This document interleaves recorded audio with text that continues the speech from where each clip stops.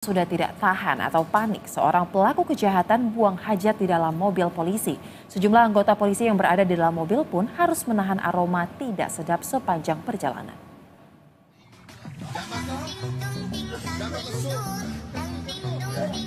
Pria ini beralasan merasakan mules yang yang hebat saat diamankan polisi. Rupanya petugas polisi tidak memberi izin untuk pergi ke toilet. Akhirnya pria ini pun dengan polosnya buang air besar dalam mobil polisi. Meski sudah terjadi, sejumlah anggota polisi ini juga tetap melanjutkan perjalanannya. Dan video ini pun menjadi perbincangan warganet hingga viral di sejumlah akun media sosial.